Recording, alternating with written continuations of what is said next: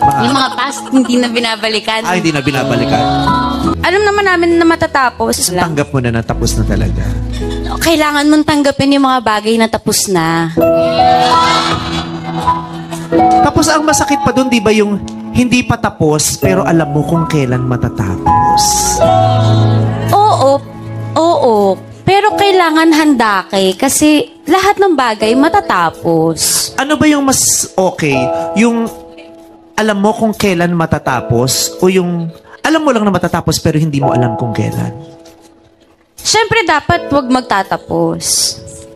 Masaya naman ako. Alam mo, Oo, gusto ko yun. mat lagi ko naman sinasabi, 'di ba? Hindi natin kailangan ng ibang tao para magpasaya sa atin. Ay, totoo. Mm.